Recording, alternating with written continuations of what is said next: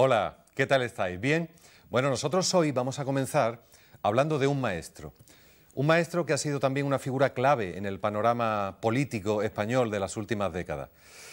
Una semblanza convencional sobre la figura de Julio Anguita, que hablamos de él, pues tal vez habría que comenzarla en el año 79, cuando alcanza una notoriedad pública al ser elegido alcalde de Córdoba, llegando años más tarde a ser coordinador general de Izquierda Unida y candidato a la presidencia del gobierno por esta formación.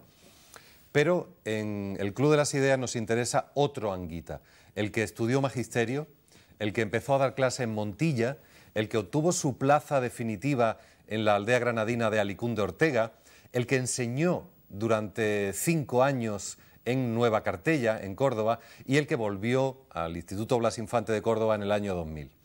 El enseñante para el que la política solo fue un largo paréntesis.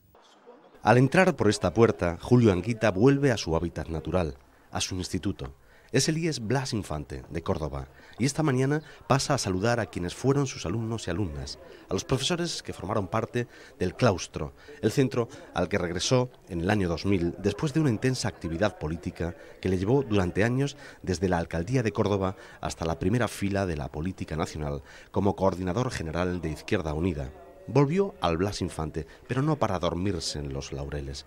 El ropaje de político lo cambió por el de docente con toda naturalidad. Tras tantos años de ausencia, acabó por confirmar que era y es un enseñante que se metió a político.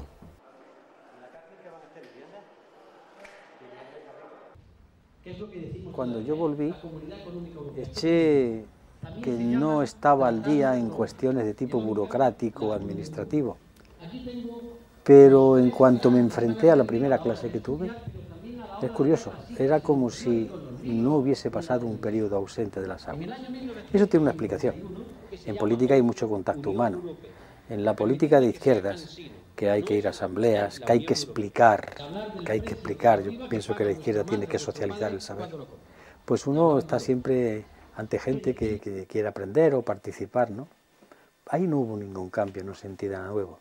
Sí sentí que volví a tomar una realidad, que me metía dentro de las actividades sociales normales. ¿no? Para mí fue un descanso y desde luego han sido dos años que, que me han servido incluso para serenarme como persona.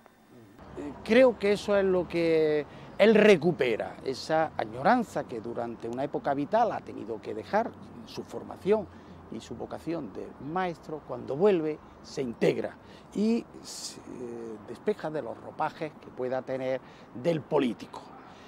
Por eso mmm, entró bien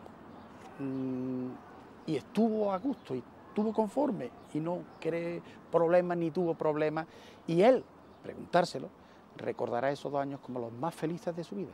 Al empezar estaba, yo creo que estaba un poco en ese sentido a él preocupado. Llamarme, por ejemplo, a las 12 de la noche un viernes para decirme, José Antonio, que estoy liado con las sábanas, explícame esto de las sábanas, eh, los papeles, la burocracia era algo que yo creo que le preocupaba, pero luego en cuanto al cumplimiento era yo para lo que se estila normalmente en el profesorado y tal, algunos lo definirían casi de prusiano, en el sentido de que cinco minutos antes de tocar estaba en clase preparando para que llegaran los alumnos, eh, ningún problema de, para nada, eh, prohibía tajantemente que nadie lo llamara en horas de clase. Recuerdo una anécdota de Luis del Olmo, creo que fue, en una llamada y el conserje que va a buscarlo a la clase, todo un poco nervioso, es que es Luis del Olmo.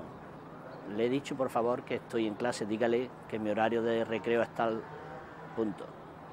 Él era tutor, creo que de un primero de la ESO, entonces, por ejemplo, una cosa que recuerdo en una evaluación, que tomamos una decisión sobre un alumno a la hora de, de promocionar, y en principio él no, no era partidario de, esa opción, pero bueno, uno planteaba una cuestión, otro otra, y al final hicimos una votación y justamente salió lo que él no defendía, pero sí que es verdad que al haber sido fruto del consenso, del acuerdo entre todos, pues él se comprometió a llevarla hasta el final con los padres, con las madres, con, quien, con el resto del profesorado.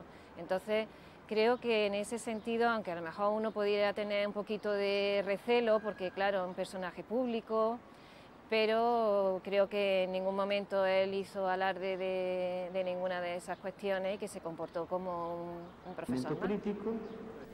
Enseguida despejó los miedos que muchos padres pudieron albergar al saber que el profesor de sus hijos iba a ser un figurón de la política al que probablemente ya no le interesara mucho su antiguo oficio. Yo se lo advertí una noche antes, ¿no? Los reuní a ellos y a los alumnos que estaban allí y les dije que había oído que decían eso. Y como yo no podía decirle, pues no va a ser, digo, bueno, dentro de dos meses ustedes cambiarán de opinión. Efectivamente, cambiaron de opinión. Y en cuanto a los alumnos, pues ya le dije que ahí iban a trabajar, que yo iba a exigir que trabajasen. Y con esto me gustaría que algunos alumnos que estén por ahí, aunque se acuerden de mi progenitor, sepan que ellos tienen una obligación y que el Estado español o la Junta de Andalucía se gasta un dinero de los andaluces y de los españoles para que tengan un sitio para estudiar y por tanto que si no lo hacen no están cumpliendo con su obligación.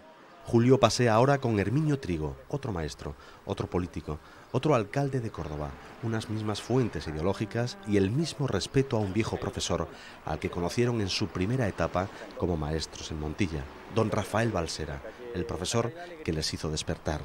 Don Rafael Balsera para mí ha sido mi maestro. Yo le sigo llamando don Rafael por respeto. Era un director por oposición que nos dio la otra versión de lo que habíamos visto. Si antes habíamos leído, en mi caso, desde Víctor Pradera a otros más, a José Antonio y todos los autores conservadores que en el mundo han sido, a partir de ahí empezamos a conocer a Voltaire, y en mi caso a Renan. Y, y bueno, y aquel hombre empezó a desmontar aquella especie de edificio, aunque ya había determinadas dudas, pero todavía estaba fuertemente asentado en nosotros. Es un hombre que además tenía una virtud, era mucho mayor que nosotros, creo que nos podía llevar pues 18 o 20 años, pero prefería estar con gente joven, cosa que después algunos hemos heredado.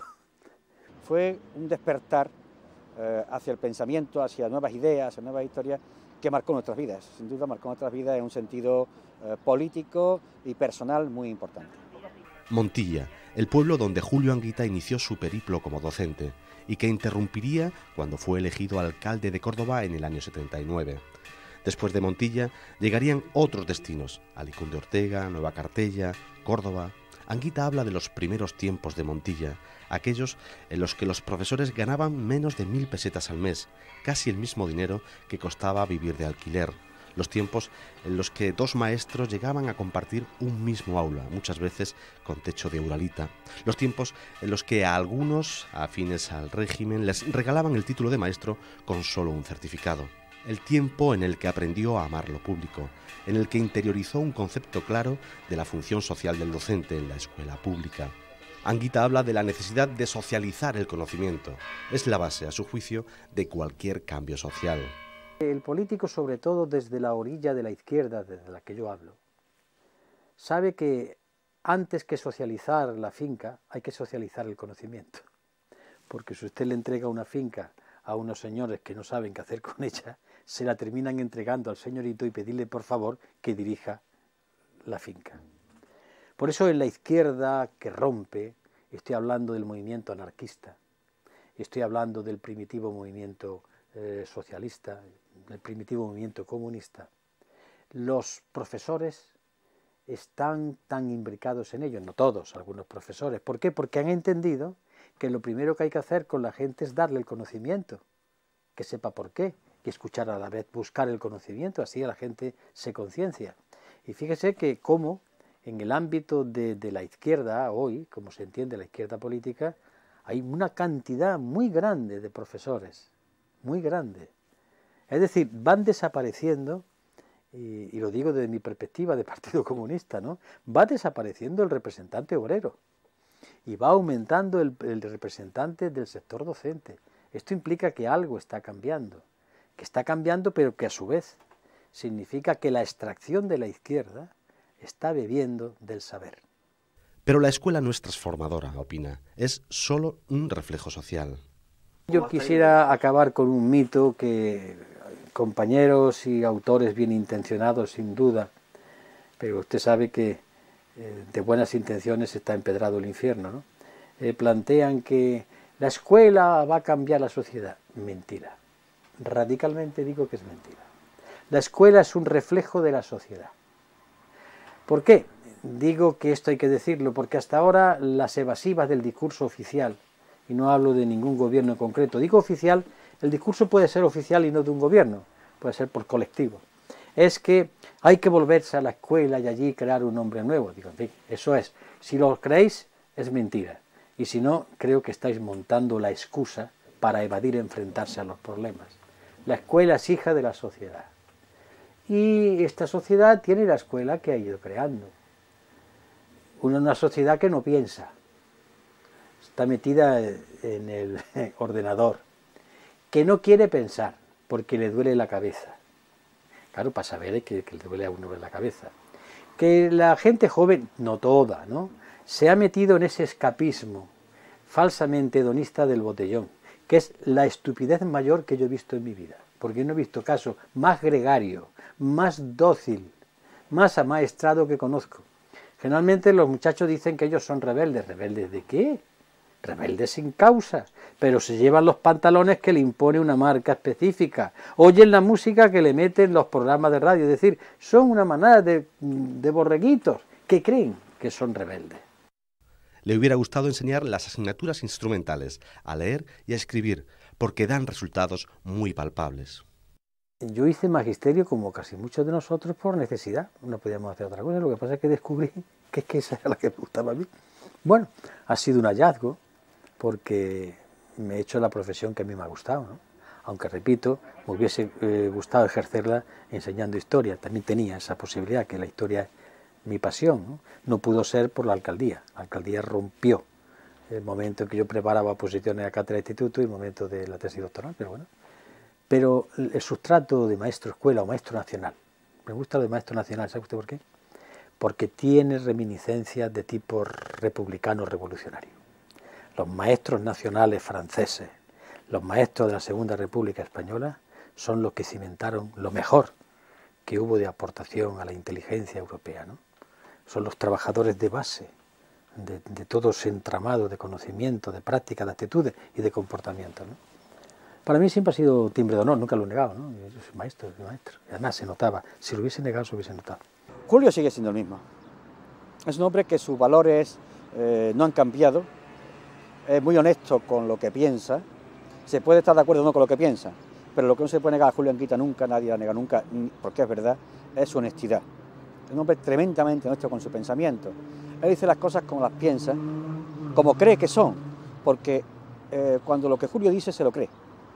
Es decir, no es, no es que eh, y haga discursos que, que sean acomodaticios al momento, sino que son discursos de profundidad y que reflejan su pensamiento. Pero sobre todo Anguita se siente orgulloso de ser maestro.